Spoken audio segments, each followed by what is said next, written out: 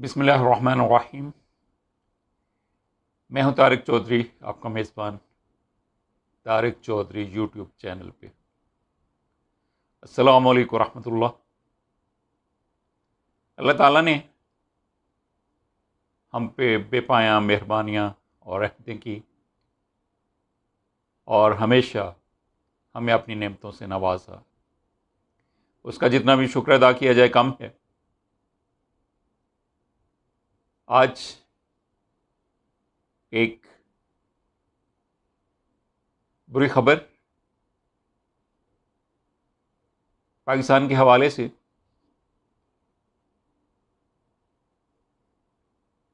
लेकिन उससे पहले कि हम उसकी तफसीलात में जाएँ, आपसे गुजारिश है कि आप तारिक चौधरी चैनल को सब्सक्राइब कर लीजिए। बेल आइकॉन को भी दबा दीजिए, ताकि रोज़ाना की जो अहम ख़बरें हम आपस में शेयर करना चाहते हैं, वो आप तक बर वक्त पहुँचती रहें। वीडियो को आखिर तक देखिएगा, लाइक कीजिएगा, शेयर कीजिएगा, और फिर अपने कमेंट्स और आरा से ज़रूर आगाह करते रहिएगा।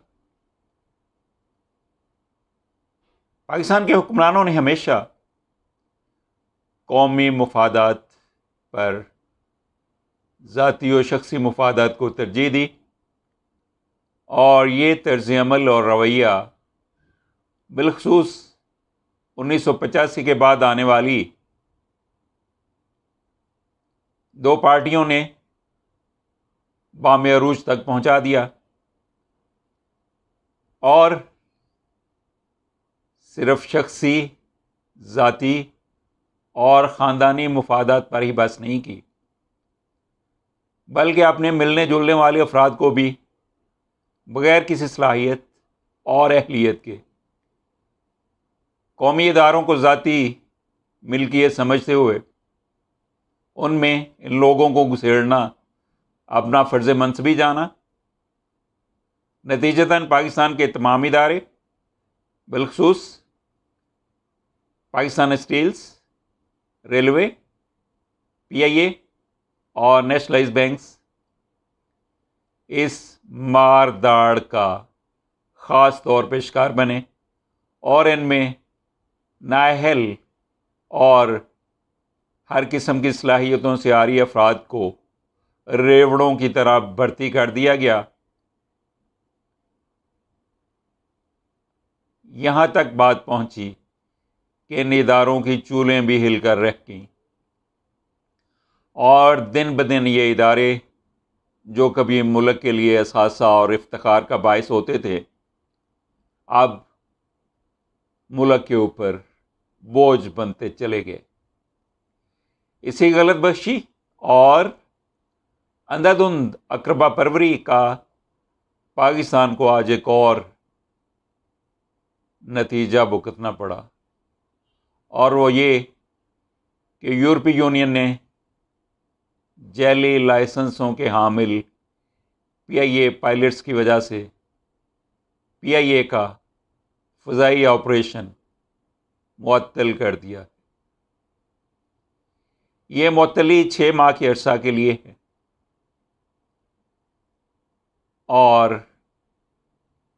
पाकिस्तान के मुफादा से खलवाड़ करते हुए जैली, लाइसेंस, याफ्ता, पायलट्स की पीआईए में सियासी बुनियादों पर भर्ती करने वालों ने आज पाकिस्तान को ये रोज़ेबात भी देखने पर मजबूर कर दिया है। यूरोपीय यूनियन एड्स सेफ्टी एजेंसी की तरफ़ से पीआईए के फ़जाई ऑपरेशन की मअतली के ऐलान से अब यूरोप भर में पीआईए की परवाज़ें पाकिस्तान को मनसूख करना पड़ गई हैं। और पाकिस्तान का इमेज भी ख़राब हुआ यूरोपीय यूनियन पर ही बात नहीं रुकी, बल्कि बरतानिया जो ब्रेग्ज़िट कर चुका उसने भी पाकिस्तानी परवाज़ों पर मअतली की तलवार चला दी है और बरतानिया की सिविल एविएशन अथॉरिटी ने कहा है कि बर्मिंगम, लंदन और मैनचेस्टर से पाकिस्तानी एयरलाइंस की परवाज़ें अब नहीं चल पाएँगी। सिविल एविएशन बरतानिया ने, यूरोपीय यूनियन एविएशन सेफ्टी एजेंसी की पाकिस्तानी पीआईए की परवाज़ों पर मुतली के फ़ैसला को अपने इकदाम की वजह जवाज़ करार दिया है। उन्होंने कहा कि हम यूरोपीय यूनियन की एविएशन सेफ्टी एजेंसी के मुतली के फ़ैसले पर अमल दरामद के पाबंद हैं।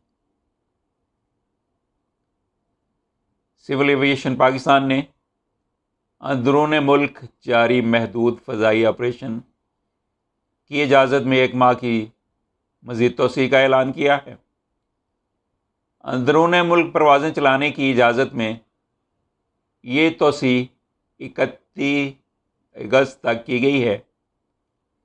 इस्लामाबाद, कराची, लाहौर पेशावर और कोयटा में परवाज़ों की इकतीस अगस्त तक इजाज़त होगी। गिलगित और स्कर्दू तक परवाज़ें सिर्फ़ इस्लामाबाद से ही चल पाएँगी। दीगर तमाम मुल्की एयरपोर्ट्स पर अंदरून मुल्क परवाज़ों की पाबंदी जारी रहेगी। सिविल एविएशन ने मुल्क भर के छः एयरपोर्ट्स पर कोरोना वायरस के पेश नज़र 30 जून तक महदूद अंदाज में परवाज़ों की इजाज़त दे रखी थी, जिसमें अब एक माह की मज़ीद तोसी की गई है। लेकिन यूरोपीय यूनियन एसोसिएशन सेफ्टी एजेंसी की तरफ़ से पीआईए परवाज़ों की मअतली के बाद अब पी आई ए की परवाज़ें यूरोप में किसी भी जगह लैंड नहीं कर पाएँगी। हकूमत पाकिस्तान की तरफ़ से जिन पायलट्स के लाइसेंस मशकूक करार दिए गए हैं, उनकी क्लियरेंस तक वो पायलट्स अब यूरोप भर में कहीं भी नहीं जा सकेंगे। इस मअतली का इतलाक यूरोपीय यूनियन के मुताबिक यकम जुलाई 2020 को यूरोपी टाइम के मुताबिक रात 12 बजे से होगा। पाकिस्तान एयरलाइंस के तर्जमान का कहना है कि हम यूरोपीय फ़जाई सेफ्टी इदारा के साथ मुसलसल रबते में हैं। उनके तमाम खदशात के ख़ात्मे के लिए हम भरपूर इकदाम उठा रहे हैं। वफाकी वज़ीर हवाबाजी, ग़ुलाम सरवर ख़ान पहले ही कह चुके हैं कि पाकिस्तान जहाज़ उड़ाने वाले आठ सौ बासठ में से दो सौ चौंसठ पायलट्स के लाइसेंस मशकूक हैं। इन्हीं, इनमें से तेईस पायलट्स को नौकरियों से बरतरफ किया जा चुका है और नौ पायलट्स सुप्रीम कोर्ट में पेश होकर अपनी डिग्रियों के जैली होने का इतराफ़ भी कर चुके हैं। और जैली लाइसेंस के हवाले से वफाकी वज़ीर ने यह भी कहा कि ये जैली लाइसेंस सबका हकूमतों के दौर में फ़रोख्त किए गए थे। नई सूरत हाल पाकिस्तान और पाकिस्तान एयरलाइंस के लिए बड़ी अलार्मिंग हो गई है। पी आई पीआईए, जो पहले से ही नाकाबले बर्दाश्त खसारे का सामना कर रही थी अब यूरोप भर में उसकी परवाज़ों की मतली से इस सारे का और भी बढ़ना यकीनी हो गया है। अल्लाह ताला हम पे रहम करे और जो कुछ हम पिछले द्वार में कर चुके हैं, जैसे हमने मुल्की मुफादा से खलवाड़ किया है, जिस तरह से हमने अपने क्रोनीस को पाकिस्तान के हर इदारे में घुसेड़ दिया है, जिस तरह से हमने अपने ही इदारों की बेहरमती की है। और उनमें नाहल और कम सलाहियत याफ्ता अफराद को मुसलत कर दिया है। उसका नतीजा हमें रोज़ बरूज़ देखना पड़ता है। अल्लाह ताला हमारे पिछले करतूतों को माफ़ करे। और हमें अपने इदारों को फिर से सरबुलंदी और अरूज की तरफ़ ले जाने की तौफीक और हिम्मत अता फरमाए। लेकिन उससे पहले इन इदारों में बैठे हुए नाहल और गैर सलाहियत याफ्ता लोगों से पाक करना होगा और इन इदारों में सिर्फ़ और सिर्फ़ उन्हीं लोगों को रखना होगा जिनके अंदर मतलूबा काम की सलाहियत भी पाई जाती है। और ये इदारे जो कभी पाकिस्तान के लिए काबिल फ़ख्र सासा हुआ करते थे, अब फिर से पूरी दिलजमी के साथ, हमें पूरी मेहनत करने के साथ साथ, पूरी सलाहियत वाले लोग भर्ती करने के साथ साथ, पूरी दयानत, अमानत जद्दोजहद के साथ इन इदारों को फिर से बाम अरूज पे लेके जाना। ये अभी अभी ताज़ा खबर आई है कि हुकूमत पाकिस्तान की काविशों से यूरोपीय यूनियन ने पी आई ए को तीन जुलाई तक ऑपरेशन की इजाज़त दे दी है।